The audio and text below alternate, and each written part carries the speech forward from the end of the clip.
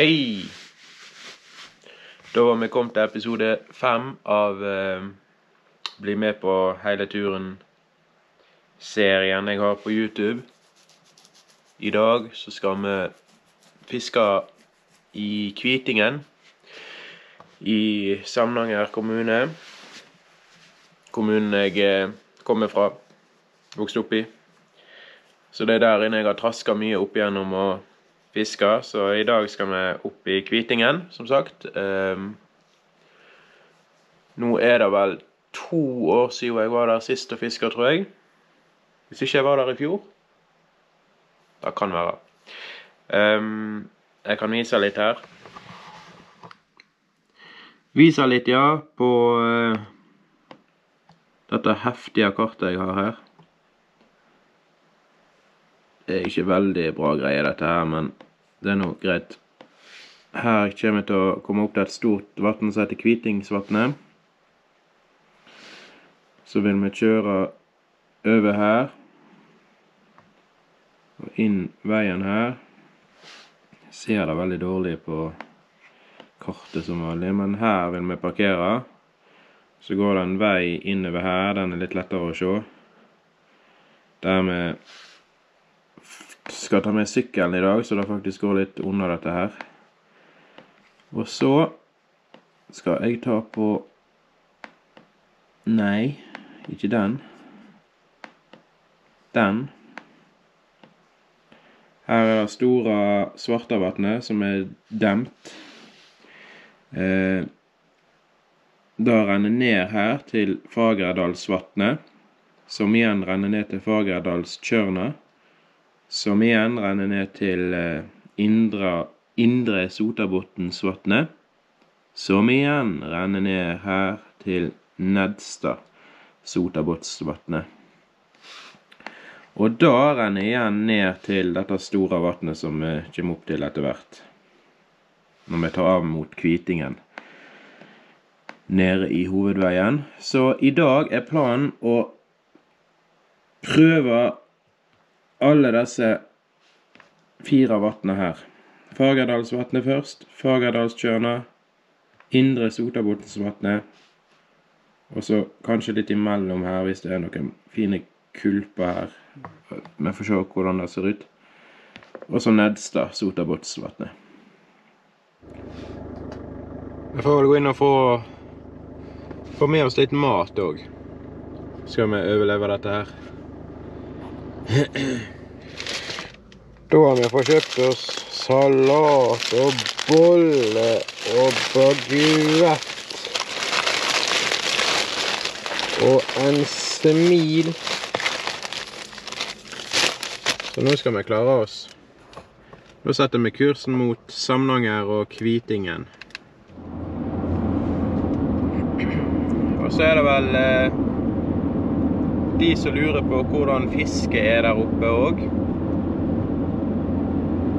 Ehm, jeg kan jo bare snakke ut fra mine erfaringer. Det innerste vannet, altså det første vi skal til, Fagerdalsvatnet, der har jeg fått eh, smått. Um, ja egentlig ikke steikefisk engang, men smått. Øh, helt greit. Det er nå fisk. Til neste vann, Fagerdalstjørna. Der eh, har jeg hørt at det er tatt fin fisk. Jeg har bare fiska der én eller to ganger sjøl. Men eh, der har jeg ikke fått noe de gangene. Da sto jeg ikke så veldig lenge heller, men uh, jeg så ikke noe vak heller, tror jeg. Så uh, ja. Indre Sotabotnsvatnet, det tredje vannet. Muligens det største, hvis jeg ikke tar helt feil. Der har jeg faktisk ikke fiska, så det er der jeg Der er jeg litt spent i dag. Um, og da blir nok det første vannet der jeg prøver pekkreft. Eller kjører pekkreft. ta den opp. Um, der går det en strømledning, mener jeg, over der eh, kaste Der du normalt sett vil kaste, da. Og der har jeg sett det er noen sånne eh, fiskesnører som henger. Så det er jo tydeligvis folk som fisker der. Nå var det jæklig med tunneler her. Vi er på vei ned i Hissdalen fra Gullbotn her, så da blir det mørkt av og til. Nei, så eh, indre Sotabotnsvatnet, der er jeg spent i dag. Eh, det er egentlig det jeg gleder meg mest til av disse tre, da. Så kommer vi ned til Nedstad Sotabotnsvatnet. Eh, og det er jo egentlig der jeg har fiska mest de gangene jeg har vært i Kvitingen, da. Det er i hvert fall der jeg har brukt mest tid. Og det er der jeg har fått finest fisk. Ikke veldig stor fisk, men helt grei steikefisk. Um, jeg var der en gang for uh, to-tre år siden, og da beit det ganske bra. Jeg kan se om jeg finner et bilde fra den turen som jeg kan legge med her.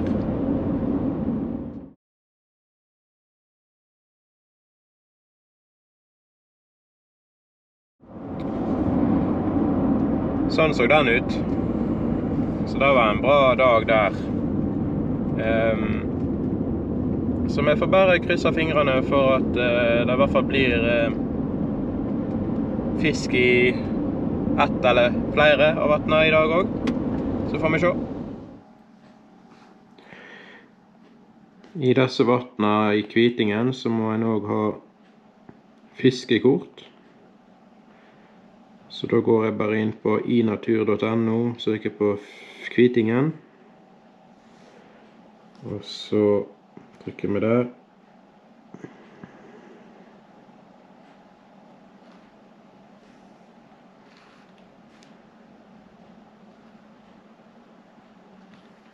Det ble tullete. Dagskort. 5. august. Kjøp. Så er det bare å fylle ut her, da. Da kan jeg gjøre uten å filme. Hehe. Hvorfor svinger telefonen ikke jeg svinger den sjøl? Det er noe magisk. Men her er i hvert fall fiskekort. Good. Da er vi klar.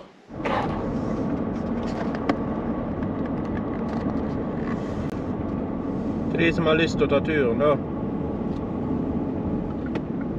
så er det inn her.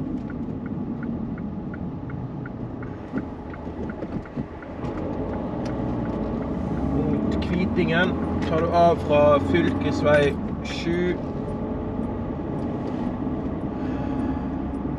Når du er på vei mot uh, Hardanger fra Bergen, så følger du bare denne veien til du kommer til Kvitingen. Bare følger skiltingen. Det er ikke verre ennå. 14 km er det fra, fra hovedveien og opp til parkeringsplassen på toppen.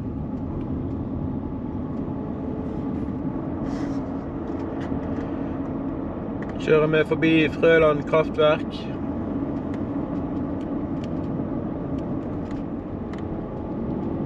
Og så er det som sagt bare å følge veien rett fram videre. Mot Kvitingen, så det står skiltet her. Så det er veldig lett å finne fram.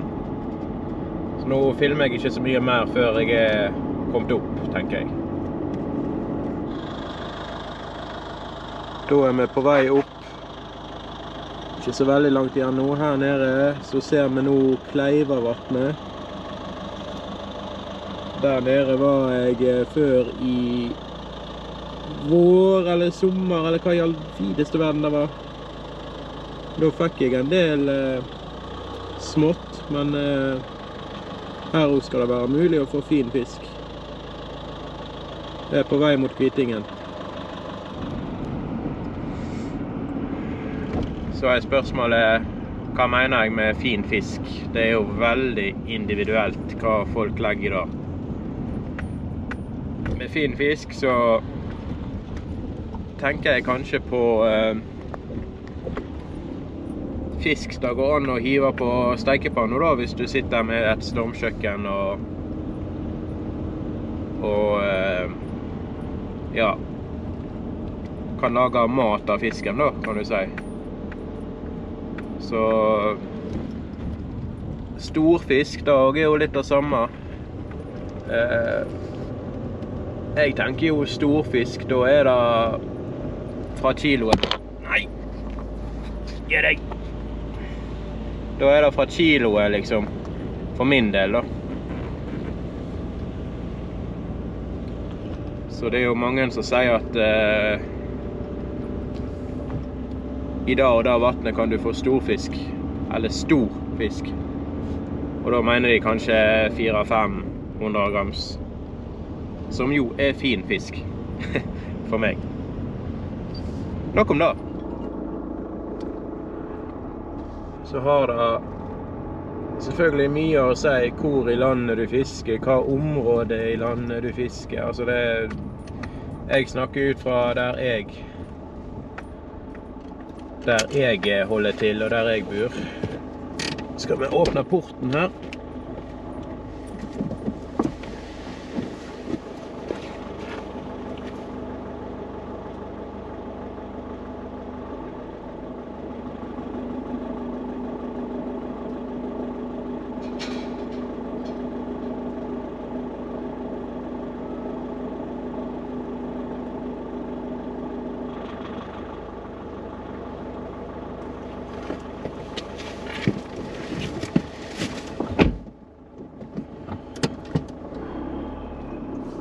Det er klart det har mye å si, det òg. Sånn. Nå må vi nesten lukke porten òg. Her, ja. Ta til høyre nå.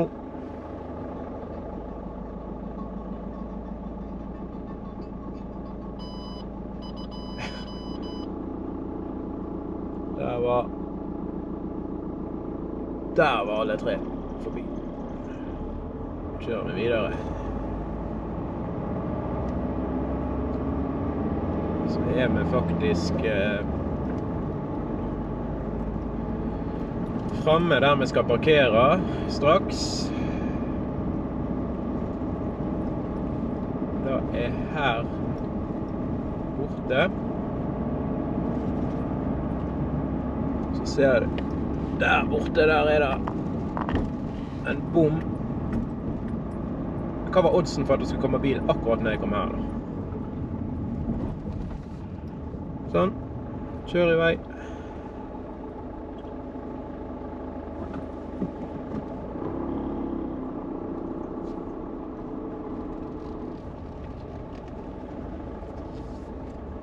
Eh, parkerer vi her, da, ja. Nei, det jeg skulle si, der borte er det en uh, Hold kjeft. Bom. Som, gjør, som stenger veien. Det er jo det bommer ofte gjør. Så da får vi ta sykkelen fatt resten av veien. Med mindre bommen er åpen, da. Vi får gå bort og se. bommen er faktisk åpen. Så det, det er alltid valgets kval, om du skal tørre å kjøre inn og så komme ned igjen til stengt bom. Dette her kan være noen som har nøkkel og er oppe i høgget nå, og så lukker de den etter seg igjen. Så jeg vet ikke om jeg skal tørre det. Jeg klarer meg lenge på sykkel, men jeg sparer jo enormt med tid på å kjøre opp, da. For å fiske mye mer òg. Uff, nå begynner jeg å tenke. Hmm.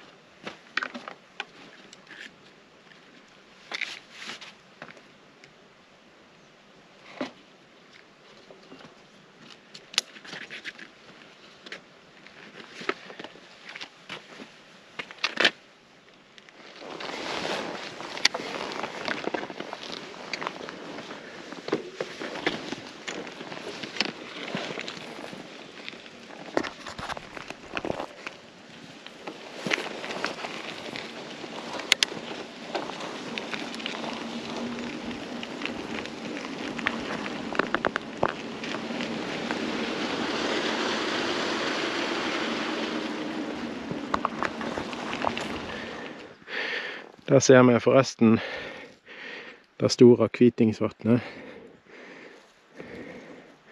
Som alle vattene jeg skal i, bunner ut i, da. Fint her oppe.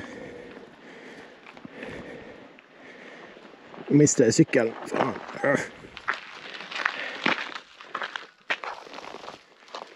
Traff nett på, en eh, tysker som mente han skulle sykle til Voss denne veien her. Og greit.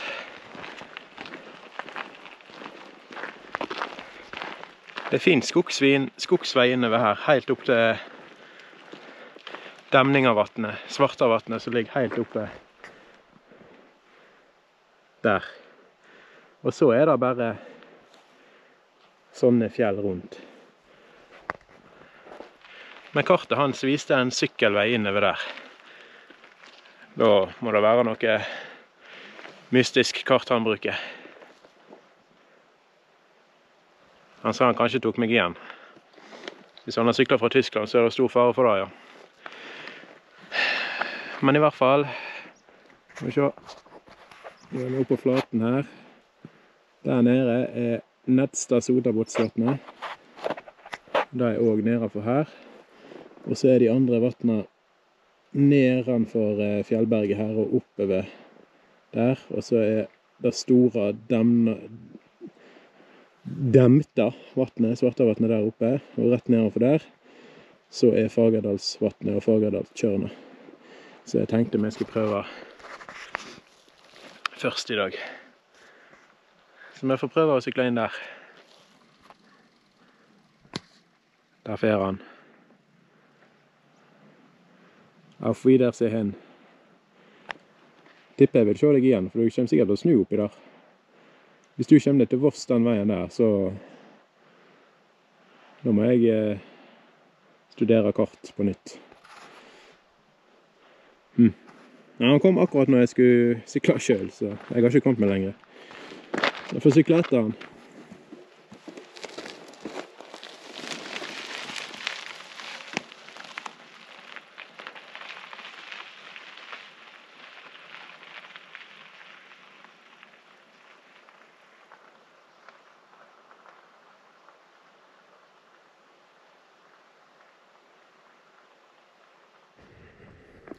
Stopper vi litt grann bare for å vise Nedstad Sotabotnsvatnet. Nå ser vi det mye bedre. Da er dette her som henger sammen. Da kommer vi da fra Helt nede der så ser vi det demta vannet, Kvitingsvatnet. Som vi så i starten på når jeg begynte å gå herifra. Så har vi Hva skal jeg si? Mellomlaget her, som går fra indre Sotabotnsvatnet. Renner det ned her til Nedstad. Så eh, oppi der en plass så er Fagerdalsvatnet og Fagerdalstjørna, som vi skal til nå. Får vi sykle igjen.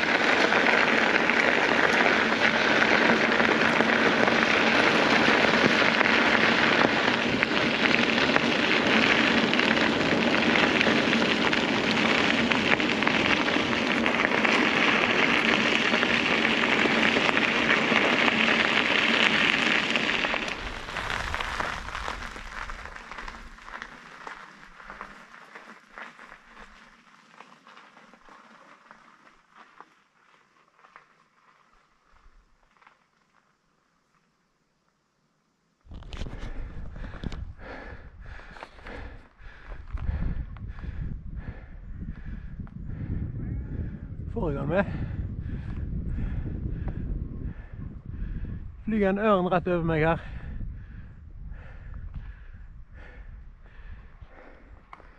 Tøft.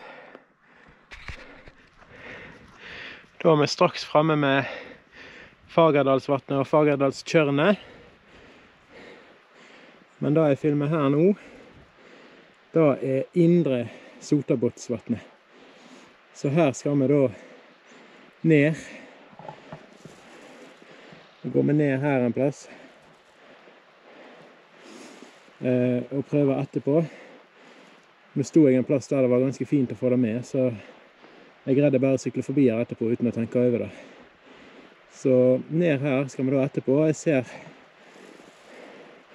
masse småvaking der borte, så det gjorde jeg òg i Nedstad. Så fisk er det. Det spørs det bare om eh, ja, vi får noen fine, som jeg snakket om. Storfisk da regner jeg ikke helt med å få. Men eh, det er jo ofte da de hogger til, når du minst venter det. Er jo da det er artig. Så renner da altså dette vannet ned her i Nettstadvatnet der, så du ser så vidt ja, Du ser vel ikke i Netstad, men du ser i mellomvannet der som du sykler forbi. Så nå er vi straks framme her. Her går veien opp til demningen borte. Til Holmavatnet her oppe Nei, Svartavatnet her oppe. Det er vel Holmavatnet òg, for så vidt. Det er vel to navn på det. Så disse andre vatnene de er rett bak her. Skal vi komme oss der nå.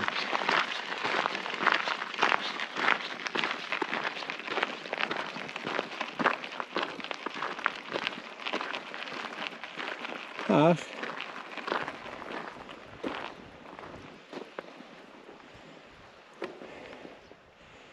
har vi det ene. Og så er det andre borti der. Så eh, nå skal jeg bare prøve å tenke litt hvor det er best å gå. Så får vi se. Sette sykkelen der. Gjemme den litt. Så tar vi beina fatt og går over haugene her. Så skal vi komme oss bort til Fagerdalsvatnet, der vi skal begynne å fiske. Nå er det på tide. Skal bare nett vise òg eh,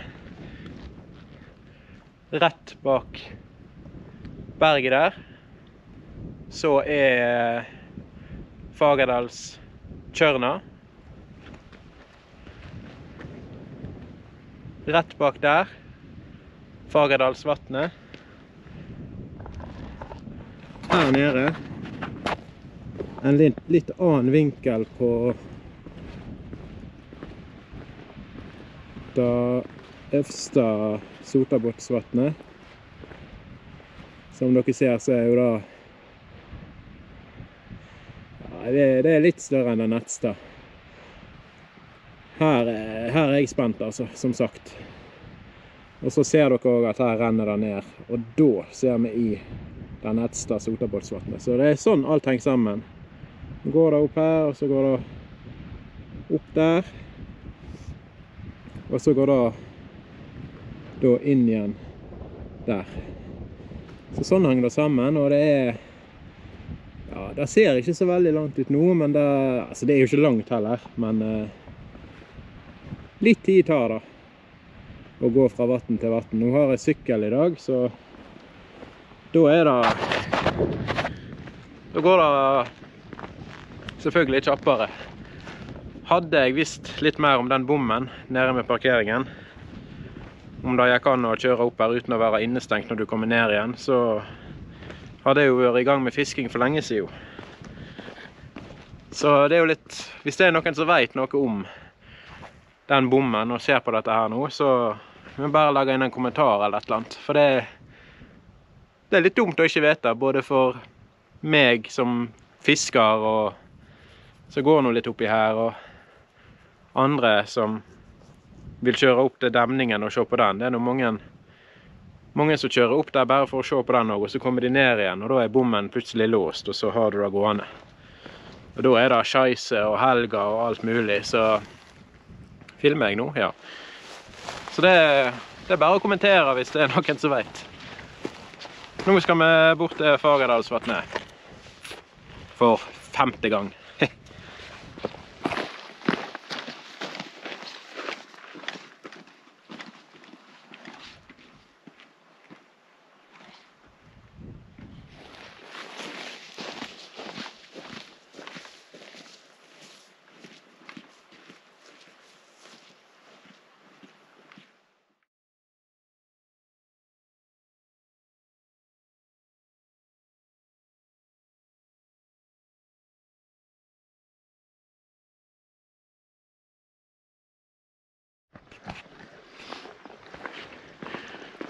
Da var vi her.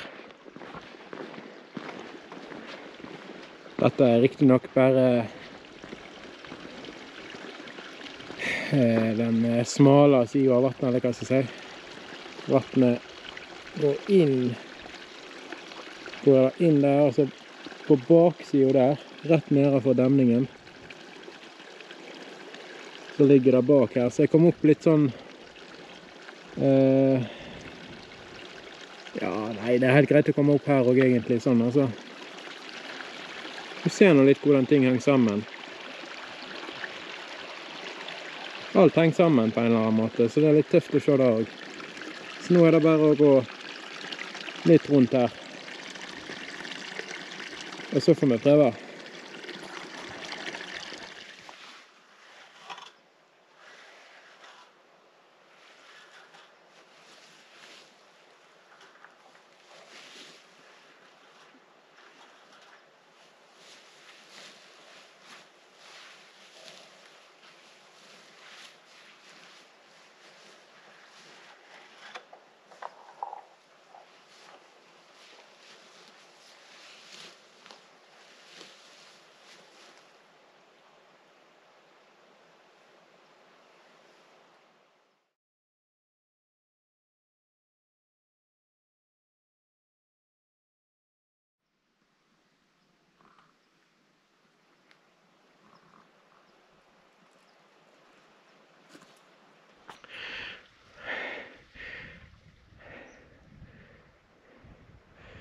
Da ser vi ruta jeg har gått.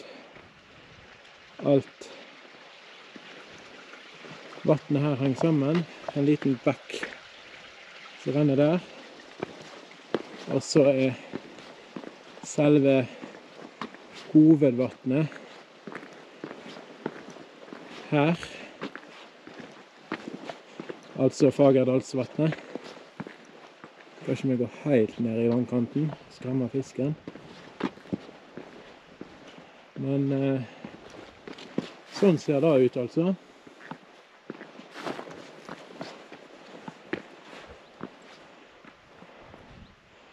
Jeg ser jeg gikk en litt sånn idiotisk vei, men det får nå bare være. Det ligger rett ned for demningen. Så det er det vannet du da ser nedpå når du er der oppe. Så da får vi prøve litt her først. Jeg eh, ser ikke noe fisk. Jeg pleier å like å gå litt opp på da, ikke helt ned i vannkanten først. Og så Det mest for å ikke skremme fisken, da. Akkurat i denne enden så så det ikke ut som det var noe liv. Det er ganske grunt òg, så jeg tenker vi prøver oss ut på berget der. Det er ikke her Altså Fagerdalsvatnet og Fagerdalstjørnet, de to første vannene, de kommer jeg ikke til å bruke veldig mye tid på, for jeg Jeg tror sjansen for å få større fisk er større i de vannene nedenfor, men da skal det jo aldri si sikkert. Men nå har en brukt litt tid på Der er det et lite vak, sånne små. Nå har han litt brukt litt tid på å komme opp her, så da får vi nå prøve litt. Men eh, jeg til å bruke mest tid der nede, ja.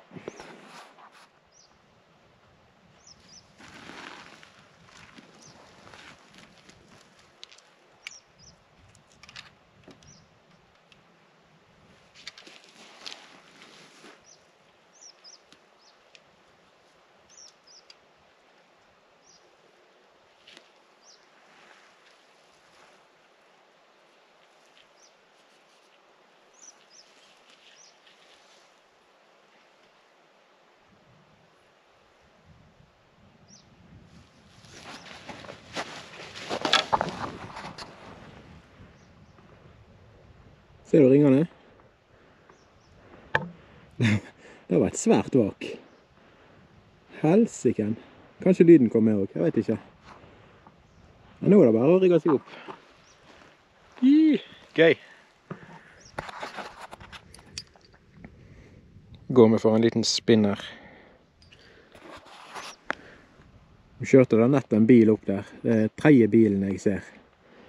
Forbaska drit, altså. Det er bare å ikke vite. Dette kan jo være folk som har nøkkel, og det kan være turister som bare tar sjansen, og det er umulig å vite. Så det ville veldig greit å få et skilt opp der nede, eller et eller annet. Tid det er åpent, og tid det eventuelt lukker, eller om det er lov å kjøre opp i hele tatt. Det Der var det et vak. Skal vi slutte å klage, skal vi fiske.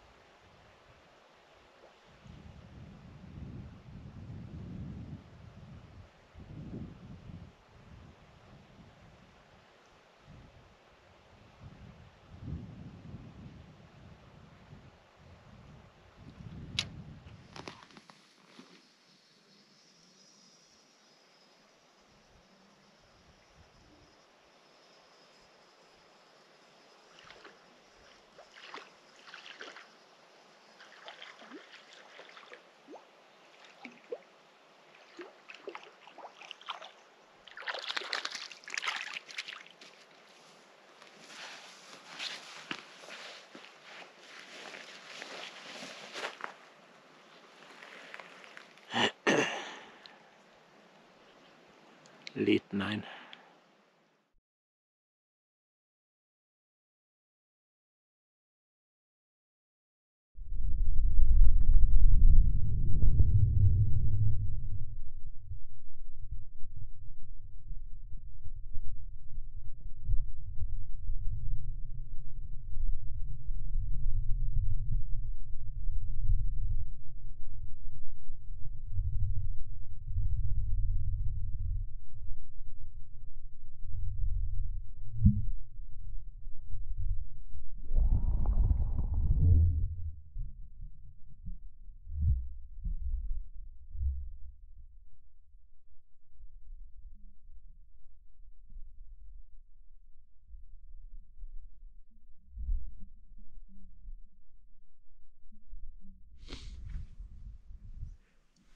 Da tror jeg vi gir oss i Fagerdalsvatnet.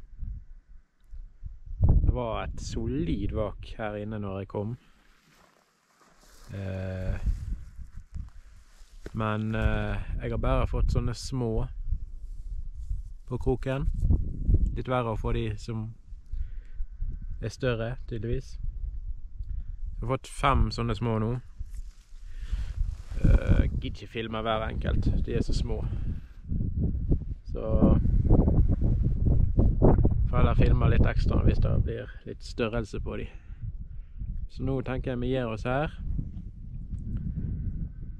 Og så prøver vi litt i Fagerdalstjørnet. Og så får vi gå ned til disse Sotavåtsvatnene. Nå er jo klokka allerede blitt uh, fem over halv fire. Så klokka går så ett mm. Jeg får ikke tid til dette her. Alt som jeg har lyst til. Tida går ifra meg.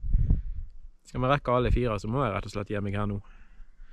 Så jeg får bare gå videre til neste vann og prøve der litt. Det er fin fisk her, men eh, som sagt bare smått.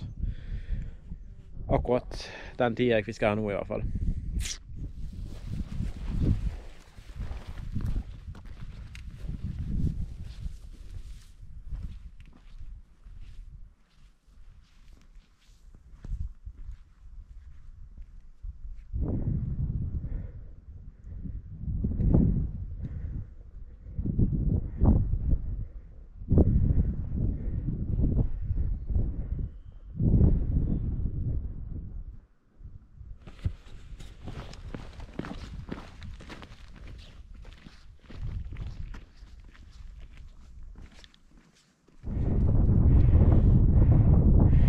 har gjort dette her et par ganger, men dette er vel det beste jeg får ut av det.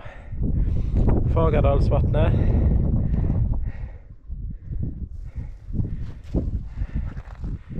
Fagerdalstjørna.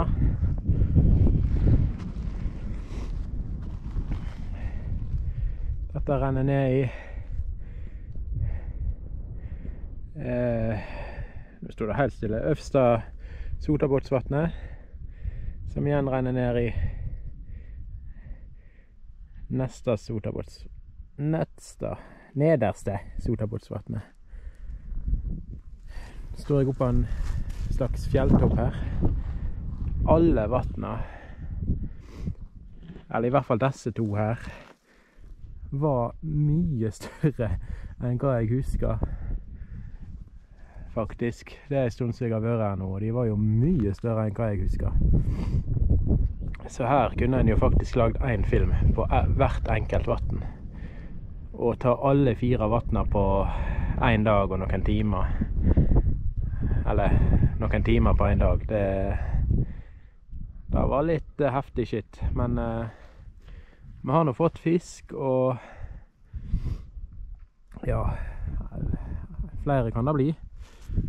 Uh, men som sagt, så dette her er jo Dette her er jo lett én dag film bare på dette vannet. Og disse andre, som sagt. Så vi får se. Det blir nå mye fremvisning av naturen her òg, og hvordan det faktisk er her oppe. Så får nå fisken bare bli en bonus. Det blir jo litt sånn Det blir jo litt sånn eh, hei hvor det går-tur, dette her nå, egentlig. Tida går ifra meg. Men eh, samtidig er det egentlig kjekt å bare prøve ut de forskjellige vannene. Alle sammen. Um, ja, så vi får bare prøve her nede litt òg nå, så Her kan jeg jo kjøre backcraft, da. Men uh, det er jo ganske heftig vind, faktisk. Så backcraften vil nok drive ganske fort med vind. Så jeg vet ikke helt hvor mye jeg får ut av å ta den ut på, annet enn å krysse vann. da er jo ikke strengt tatt nødvendig. Her er det jo finere å være like og padle litt frem og tilbake når det ikke er vind. Men eh, nå er det jo vind. Akkurat nå er det ganske mye vind, så Nei, vi får bare se. Jeg skal nok rekke alle fire vannene, men eh, hvor mye fisking det blir i hvert enkelt, det får vi nå se. Jeg syns jo dette vannet her er spennende, da. Og her tror jeg faktisk det er tatt en stor fisk før. Det har jeg mine mistanker om. Um, men de er ikke lett å få tak i, da.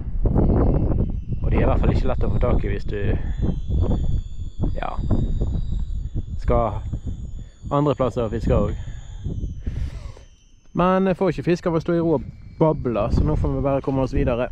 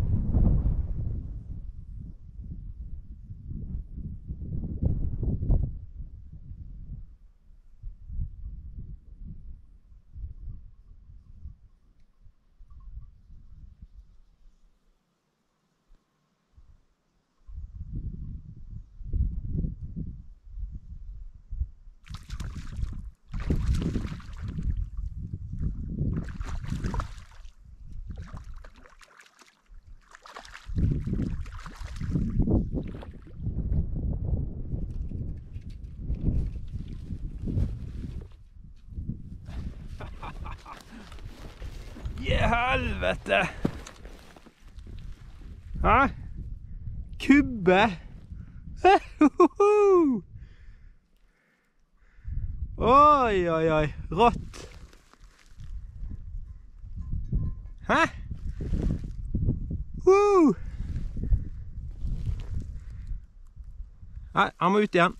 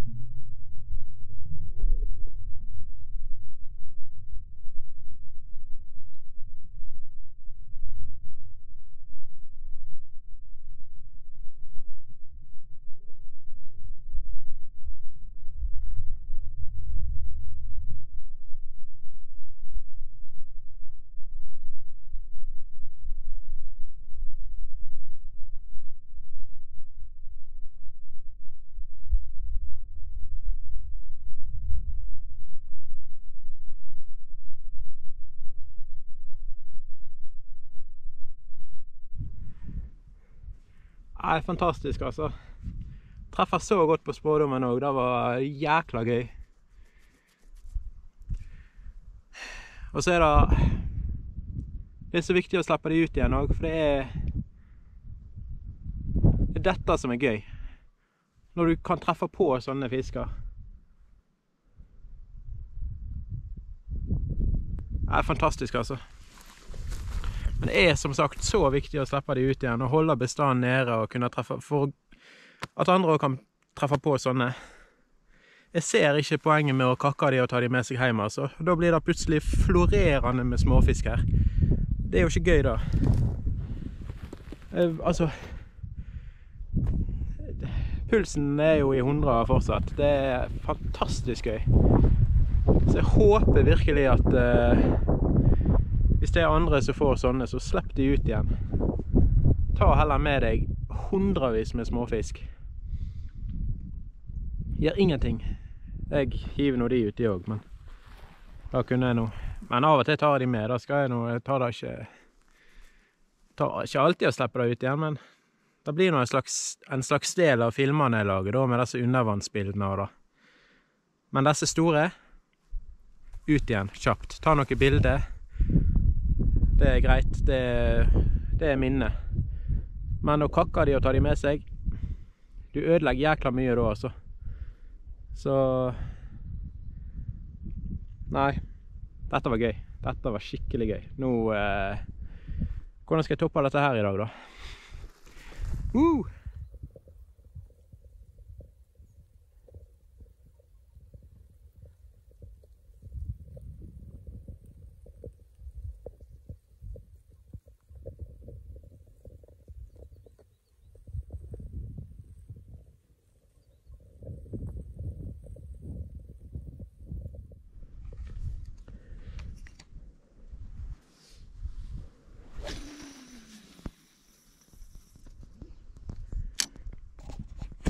Prøve meg igjen.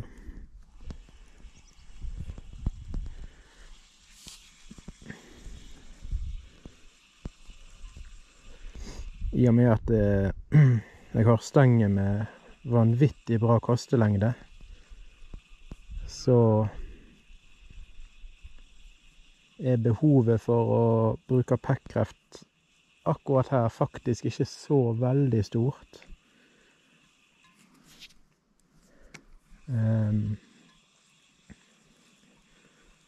Så det er fordelen med å ha litt Ja, betale litt ekstra, da. Så får du veldig igjen for det. Du så jo den fisken jeg fikk nå òg. Det var på et langt kast på hi side av vatnet Eller ikke på hi side av vatnet, men eh, i midten av vatnet, da. Som eh, gjør at fisken da er langt vekke fra der jeg beveger meg. Så den har ikke blitt skremt eller noe i den dur av at jeg har kommet ned her. Så det er veldig greit å ha stenger som koster langt. Jeg lurer beint på om jeg har runda livet her oppe. I dette vannet. Nå er jeg fornøyd her, for å si det sånn. Men eh, jeg lurer på om jeg skal prøve litt langs med her. Før jeg prøver å finne sykkelen igjen, og så sykler jeg ned til Øvsta Sotabotnsvatnet. Og prøver litt der. Så får vi se om jeg får tid til der nederste òg. Det ser nå faktisk fint ut å stå her òg. Kanskje jeg skal prøve litt her. Det gjør jeg.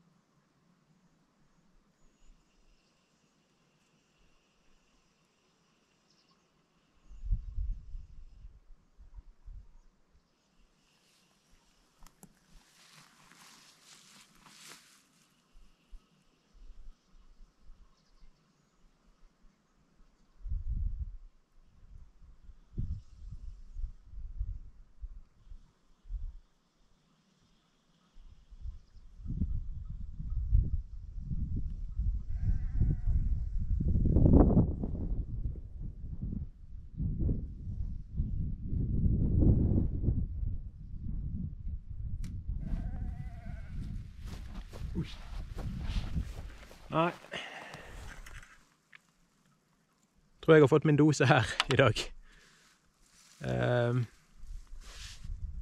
vi tar og beiner Beiner bort til sykkelen, og så tar vi og finner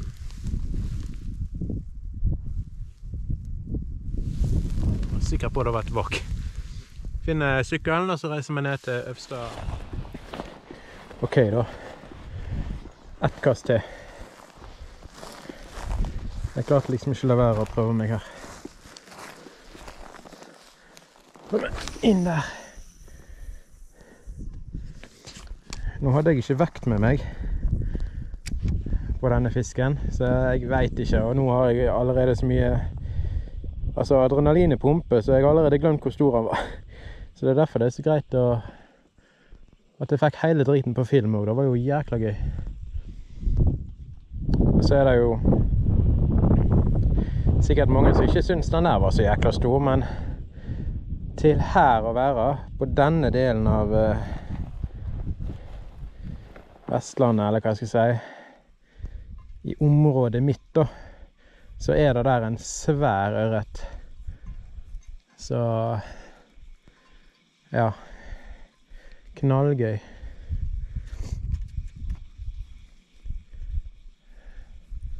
Så sa jeg til meg sjøl eh, tre-fem kast her.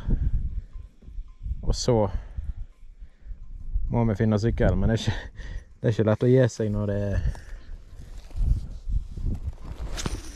Når det skjer sånne ting. Tre kast til, og så går vi videre. Finne sykkelen. Nå er jeg på siste kastet her. Nå var han på på forrige kast.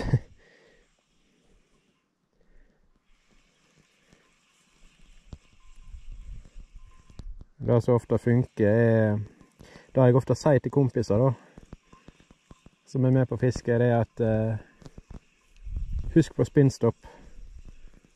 Så sier de ofte ja, jeg skal ta spinnstopp.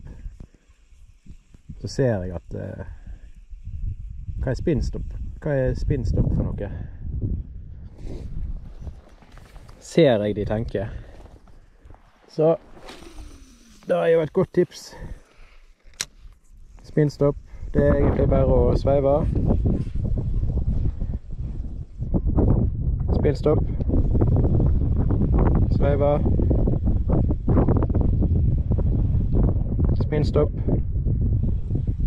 Sveive. Når du tar spinnstopp, så stopper sluken. Eh, som gjør at fisken ofte hugger til. Har du en eh, skjesluk eksempel, møresild, eller andre lignende skjesluker, så vil de gå sånn nedover i vannet. Som eh, ja kan hjelpe godt på at fisken hogger til, istedenfor at du bare sveiver og sveiver og sveiver. Det løper ikke meg nå. Men eh, det, er, det går helt fint. Nå har jeg tatt de kastene jeg skulle ta ekstra. Sykkel, hvor er du?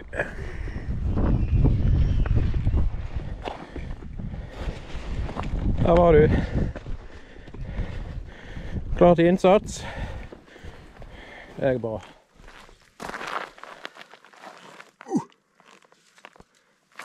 Bærer jo på murstein. Da er vi ferdig i Fagerdalsvatnet og Fagerdalstjørni. Tjørne. Seks fisk. Én å skrive til julenissen om. Resten smått. Men uh, Fisk er fisk. Uh, det blir jo uh, I disse bli med på hele turen-filmene, så blir det jo òg mye tid som går til å vise naturen, vise Vise turen, da, og ikke bare fisking. Så det er jo på måte en fiskefilm, dette her, men i Bli med på hele turen-serien så viser jeg òg veldig mye fra eh, andre ting enn fiskingen, da. Så de som forventer kun fiskerelaterte ting, de eh, må kanskje se på noen andre filmer som jeg lager. Eller noen andre som lager sine fiskefilmer. Nå skal vi ned til det tredje vannet. Jeg har sagt Øvsta, tror jeg, Sotabotnsvatnet, i noen klipp. Det rette navnet er jo Indre Sotabotnsvatnet. Så da blir det tredje av forhåpentligvis fire vann vi skal prøve. Vi får se om vi klarer det neste vannet òg. Det er ganske mye vind, så jeg er litt usikker på om jeg skal hive pekkreften uti der nede, eller hva jeg skal. Da får vi bare se. Så bli med!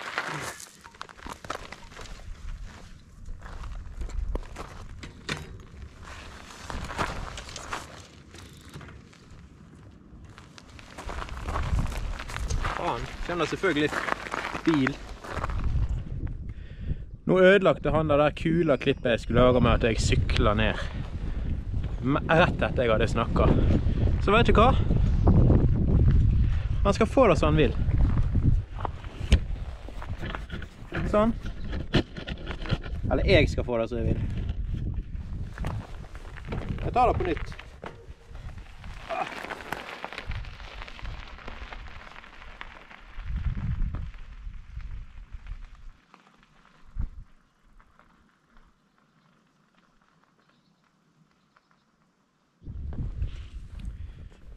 Da har vi kommet ned til denne røde hytta her. Når vi har kommet der, så er det en fin plass å gå ned til vattnet. Så da tenker jeg vi gjør.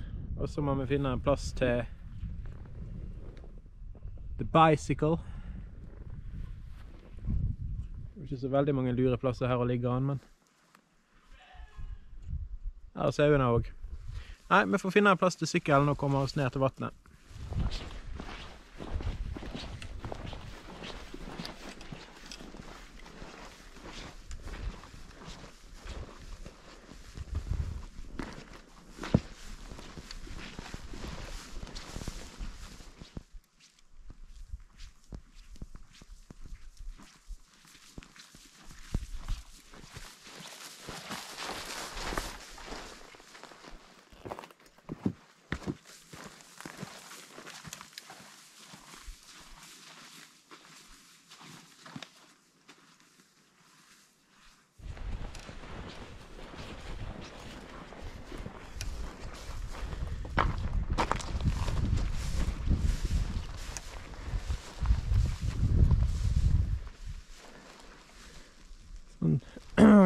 Sånn ser det ut her.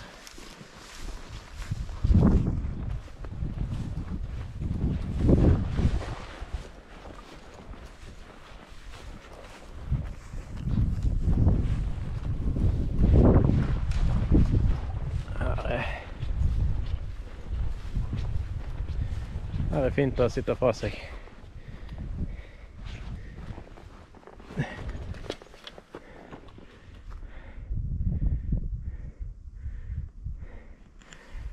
Nei, er det jo Det er jo fristende å hive uti pekkreften, da. Det er jo det. Jeg tror beint jeg må gjøre det, jeg, altså.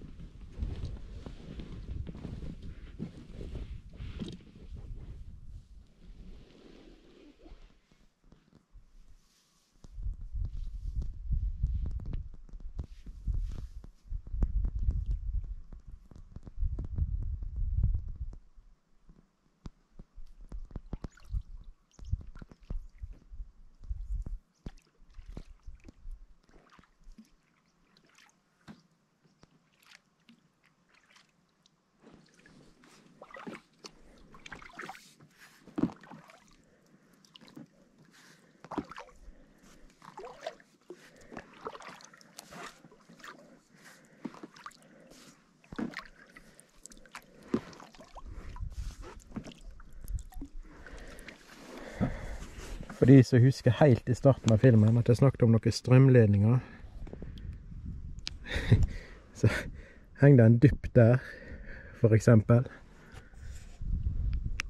Jeg vet ikke hvor godt disse vises, men når du står på land der, så er jo de rett i kastelengden. Så Ikke så veldig strategisk plassert i forhold til fisking. Men det har vel de dritt i. Men selvfølgelig, det er jo andre plasser å stå. Du kan jo stå på berget der. Der er jo fint. Har du ei stang da med lang kastelengde, så får du Ja, ja. De går nå faktisk innover der, da. Så du får ikke kasta i, i sirkel. Eller ikke sirkel, men uh, I uh, halvsirkel, da, så Det er litt dumt. Men uh, du kan jo gå på denne sida her. Stå der og fiske. Det går. Nå får jeg begynne å fiske igjen. Nå er vi altså i indre Sotabotnsvatnet, det tredje vatnet. Så nest siste vatnet for i dag. Klokka er kvart på seks, så jeg tror vi skal rekke alle fire. Eh, så prøver å få litt mer fisk her og der nede. Vi prøver.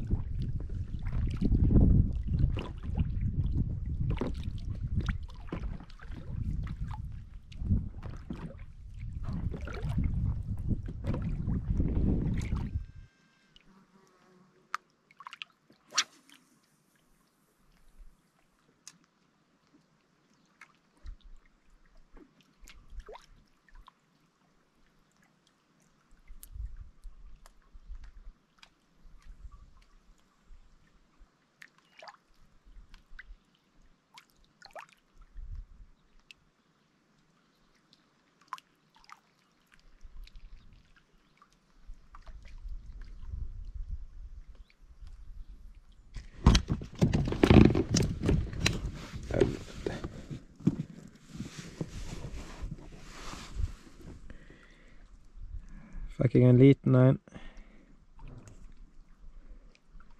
Helt grei steikefisk. Den lar meg gå.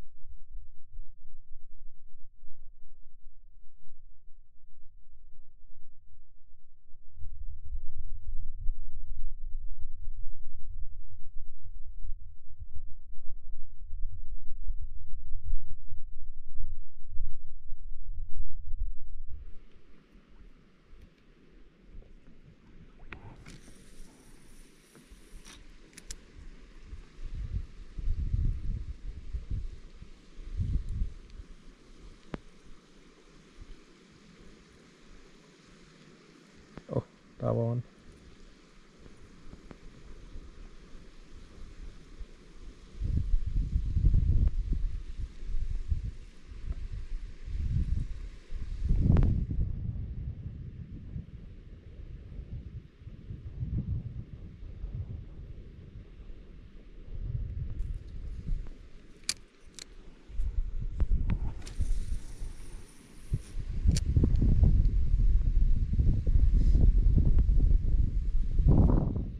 Der igjen.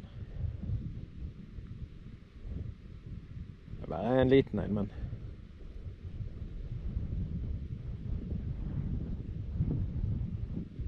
Gøy for de òg.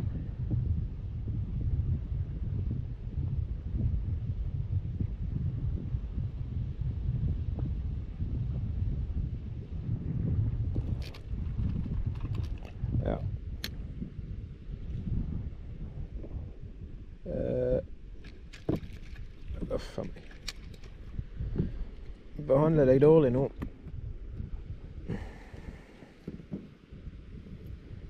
En liten bekkaørret.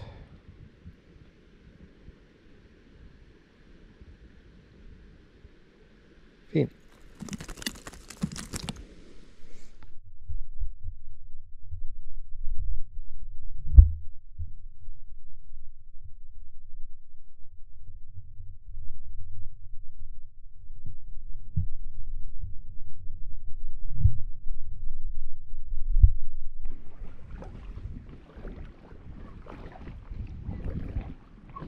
Da har vi fiska i indre Sotabotnsvatnet i ja 40-45 minutter. Så det ble ei lita økt her. Så tenker jeg vi padler oss inn igjen i land nå, og så går vi ned til Netstad. Sotabotnsvatn. Og prøver litt der. Nå er snart minnekortet fullt her òg, så håper det ikke blir helt tomt før vi kommer ned.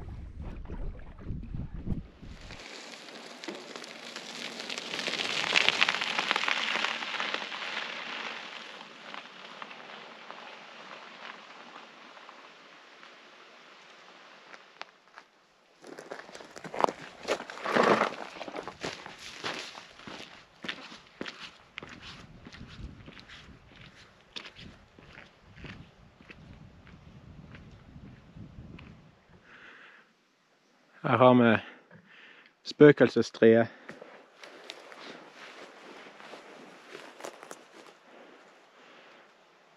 Du har tapt deg. Så mer ut som et spøkelse før.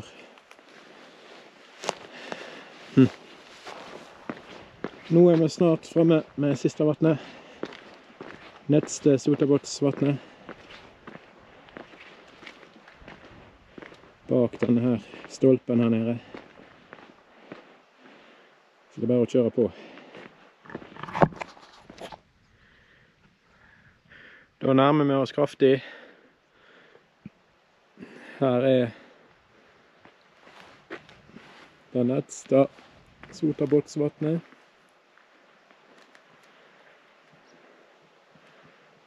Det er vel faktisk kanskje hakket større hvis du tar hele vannet her nede under så er det vel nok større, ja. Jeg har uh, uh, Jeg har pakka alt fra meg opp i veien. Nå har jeg bare fiskestang, håv og skrin med meg. Gjør det enkelt. Nå blir det bare en liten, ei lita økt ned på Ned på øyet der. I midten. Der er fint å stå. Nå kan du på en måte kaste Eller komme deg rundt flere plasser på en og samme plass. Ser det er et lite vak der nede nå, litt sånn, så Det blir siste stopp i dag. Kommer ikke til å holde på her lenge nå. Det blir eh, som sagt ei lita økt. Uten at jeg tar livet av meg her. Så får vi se om det biter litt her òg.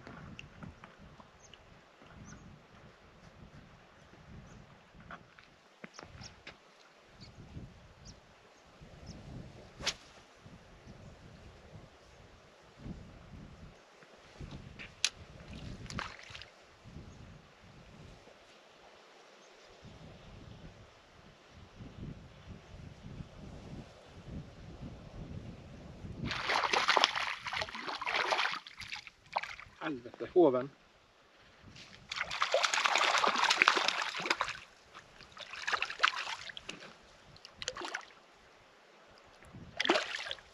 Ah.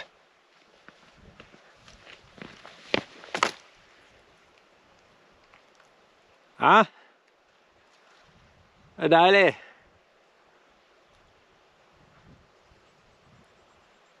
Fin en.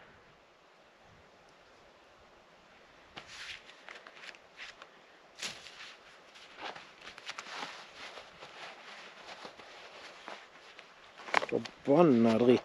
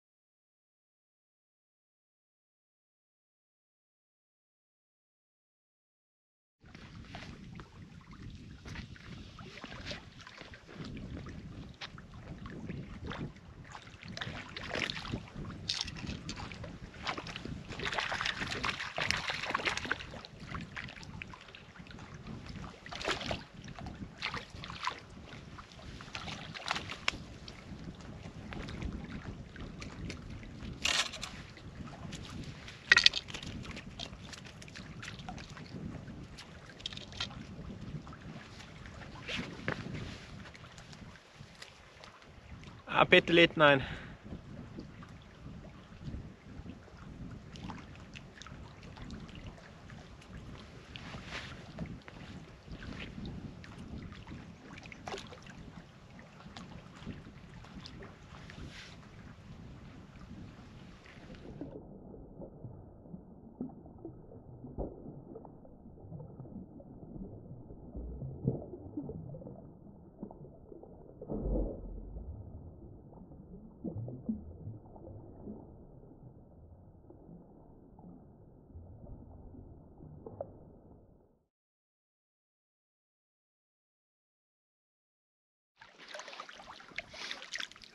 Da tenker jeg vi gir oss for i dag. Nå har vi fått prøvd ut alle fire vannene.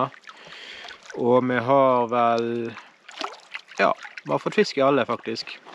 Så det var jo litt gøy.